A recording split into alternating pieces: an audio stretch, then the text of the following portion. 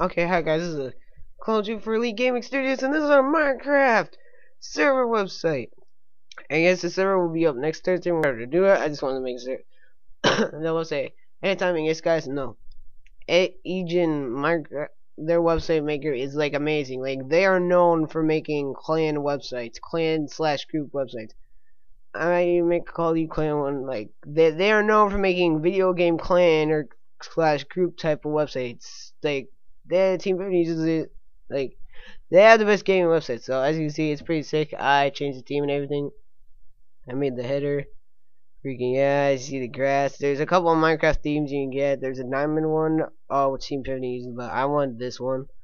and this guy, about our server, it will not have a creative plot thing because I don't like those. Um, there's a there will be a very strict griefing rule. There's no rating. There's no such thing as rating. Um, there's a very strict griefing rule. When you're in the building area, there's no PvP whatsoever unless like you build a custom PvP arena in your house. That's fine.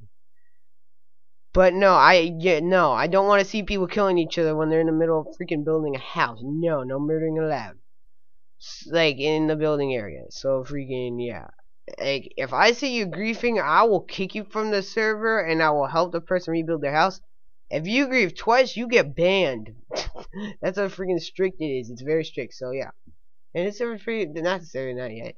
Freaking it's pretty cool. Members, recruitment, events, I I, I probably gotta edit some of those but freaking yeah, but it's it's pretty sick so far. It's there.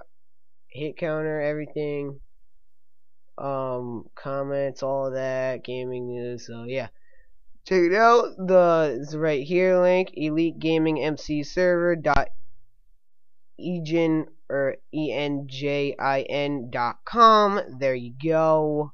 Boop, bam.